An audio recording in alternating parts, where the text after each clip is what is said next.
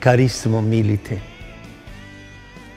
estou aqui hoje para te pedir de renovar o teu sim.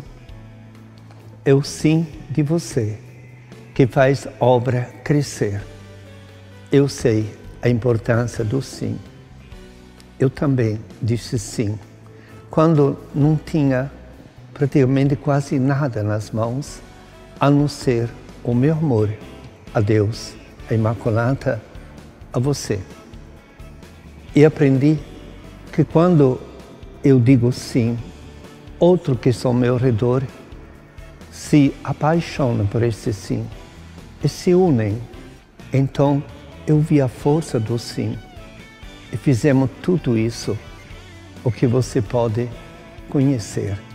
E hoje, nesse dia, diga assim: te peço, persevera nisso.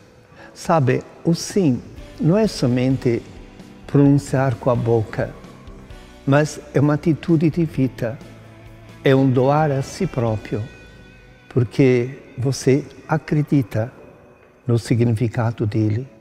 É um ato de fé, de confiança em Deus, de certeza que Deus pede a colaboração de você para levar em frente o projeto dele, que é salvar a humanidade. E nós queremos isso sob a proteção da Imaculada, mas precisa do teu sim. Vamos, diga sim comigo e não tenha medo. Nunca vai te faltar nada. O próprio Deus, a Virgem Santíssima, vão cuidar de você.